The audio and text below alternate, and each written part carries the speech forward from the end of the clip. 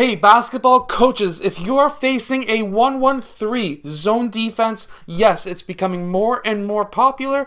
So, yes, you're not the only one having issues. So, today I'm going to be talking, talking to you about how you can beat the 1 1 3 zone defense. Let's get down to the clipboard. Let's check this out. But if you want to be able to stop that opposing team, make sure to go check out the Unbeatable Basketball Defense book in the link below because believe me, that is not a popular defense and it is an absolute killer. So go check it out and win more games. Let's get down to the clipboard. Let's check out these basketball plays against the 113 zone defense.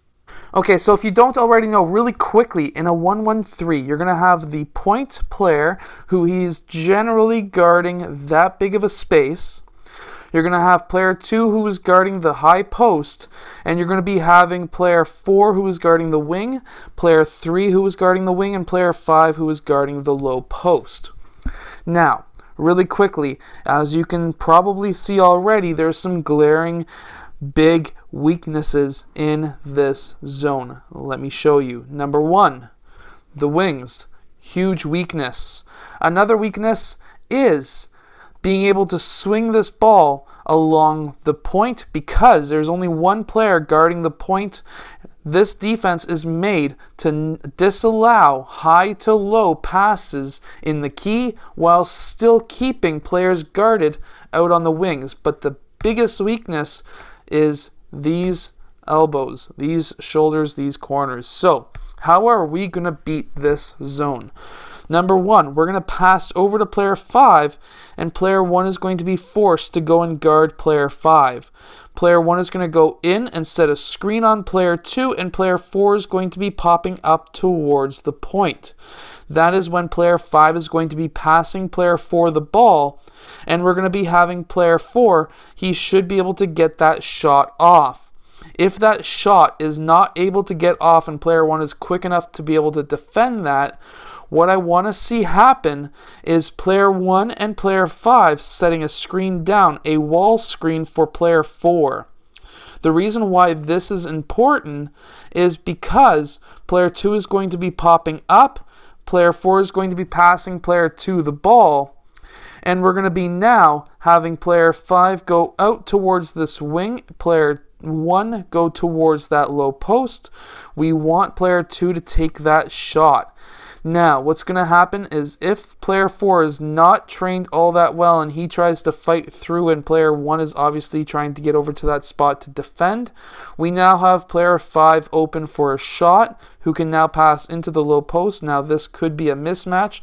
So instead of having player 5 go to the wing, we could have player 1 cut out towards the wing. And again, player 1 could take that shot as well and we are now having single coverage down low, and we have pulled out this defense. This is if we can pass the ball fast enough. We need to make sure that we can pass the ball fast enough. However, as you've seen in these plays, we got multiple shot opportunities from that area of the court, which is going to be the area we're going to be focusing on for the rest of our plays.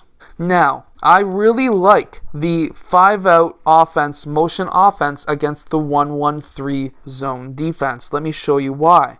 We're going to pass the ball over to player 2. Player 1 is going to go over to player 2, and player 1 is going to cut towards the rim.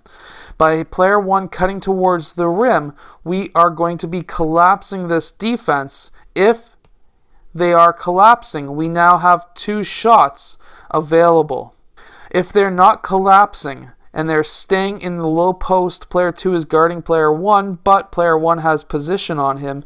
We could pass into player 1, and now we have collapsed the defense. We could have player 3 cutting from the weak side.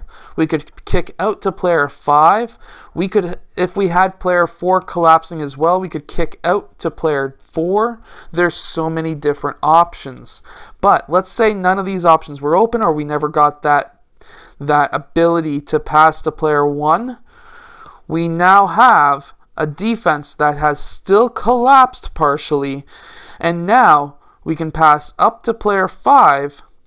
They're going to be trying to recover back into their zone. Player one is going to be then popping back up, and let's say we screen away. Well, now we have the ability to get player 4 open for a shot. Player 2 is going to be filling that spot. We now have player 4 concentrated on player 2. We can get player 5 cutting towards the rim. And now we've collapsed the defense again. He can kick the ball out. There are so many different options with the 5 out, simple 5 out motion, pass and cut which is what I was showing you here the ability to pass the ball and cut.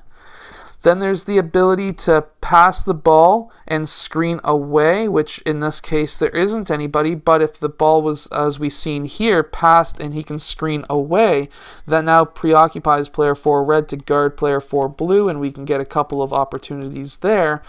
Or we can pass and screen for the player, which in this case, if player 2 had the ball and he passed to player 4, well, now we can have player 2 set a screen for player 4. Player 4 and player 2 is going to roll towards the basket, which is possibly going to be collapsing those players.